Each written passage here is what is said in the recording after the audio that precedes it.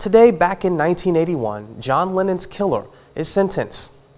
Mark David Chapman is sentenced to 20, 20 years to life for the murder of John Lennon, a founding member of the Beatles, one of the most successful bands in the history of pop music. On December 8, 1980, Chapman shot and killed 40-year-old singer, songwriter, and peace activist outside of Lennon's New York City apartment building, the Dakota, where he lived with his wife Yoko, Yoko Ono and their young son Sean.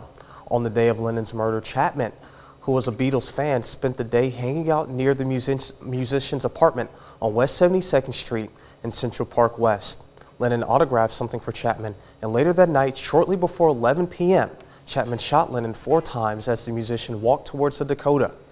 Chapman originally pleaded not guilty due to the reason of insanity, but instead dropped it and pled guilty to second-degree murder. Chapman's requests for parole have all been denied, and he continues to serve time in prison in New York.